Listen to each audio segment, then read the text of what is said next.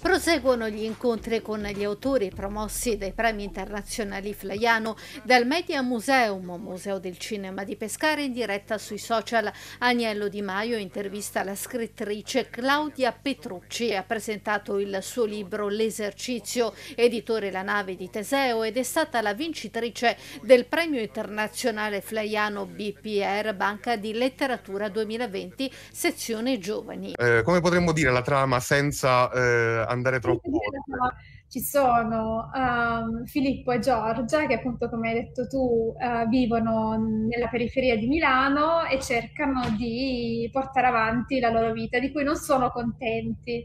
Uh, Giorgia fa la castiera ma è stata attrice di teatro, Filippo lavora in un bar ma sognava di fare il giornalista Um, un giorno quest'ordine viene distrutto dall'arrivo di Mauro, che si dichiara come l'ex